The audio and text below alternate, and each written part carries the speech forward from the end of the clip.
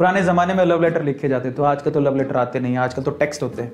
आज को good morning को भी वो जीएम लिख रही होती है पता नहीं जीएम का मतलब क्या होता है। जीएम के मतलब बहुत खराब निकलते हैं। देखा एक बार तो क्या होता है? मेरे को हँसी आ गई। तो बेसिकली क्या था कि हमारे लिए ना जीएम का मतलब कुछ और होता था। तब कॉलेज में पढ़ते थे यंग थे। तो हमारे क्या है ना, अब टीचर के सामने किसी को बोल नहीं सकते वो वो जो वर्ड है। तो बेसिकली हम क्या सीधे शॉर्ट वर्ड में बोलते तू जीएम है। जीएम साला, ऐसे बोलते अब क्या हुआ ना, जैसे मैं टीचर बन गया टीचर बनने के बाद है ना थोड़ी थोड़ी फ़ैन फॉलोइंग बढ़ने लगी। फिर धीरे धीरे बच्चों के पास नंबर जाने लगे। तो एक बार एक बच्चे ने लिख दिया मेरे को। और अनबिलीवेबली एक्चुअली वो एक लड़की थी।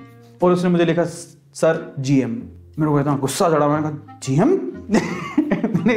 व्हाट्सअप नया नया चालू हुआ था उस टाइम पे। मैंने कहा जीएम मतलब मैंने उसको लिख दिया। मैंने लिटरली उसको लिख दिया कि यू डोंट हैव मैनर्स तो सर, क्या हो गया? No what is this GM sir GM means good morning sir good morning कैसे भगवान! किसी दिन तुम मरवाओगे।